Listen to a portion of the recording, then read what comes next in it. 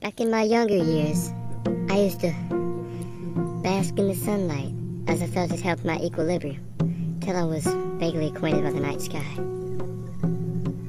It's like my name is written in the clouds.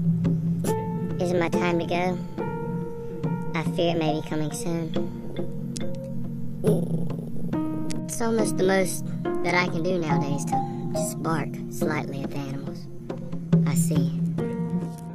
Birds calling, but no more am I able to chase after them. Ever since my hip was broken. My foot hurting, I sit back down and look around at other things that I feel I can shout my voice at.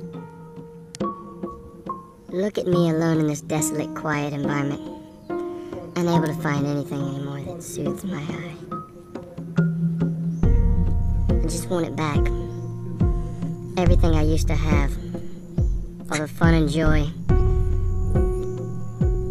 Growling is my only, my only point of stress that relieves me somewhat now. I guess I was a good dog. My days were somewhat well lived in this place they call Huntington Oaks. now I just sit.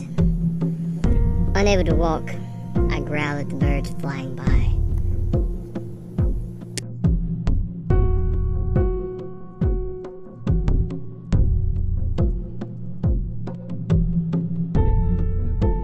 So I'll just spend my days in the loneliness I have.